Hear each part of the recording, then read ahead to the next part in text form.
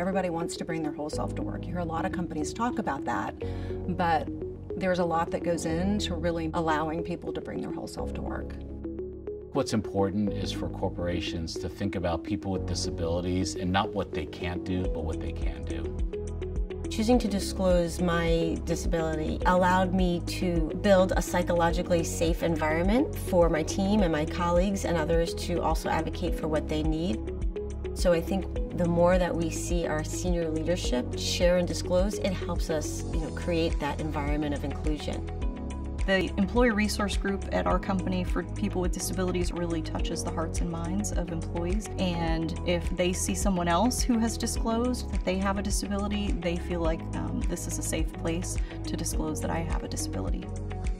We have this idea in our society that we need to fit in. If we want to go through that, we, in the neurodivergent community, we have to mask who we really are. So when we say bring your neurodiversity to work, we are saying we want you to be in an environment that accepts and values you for everything that you have to offer. Once that's possible, we will live in a world with way more innovation at a much faster rate than today.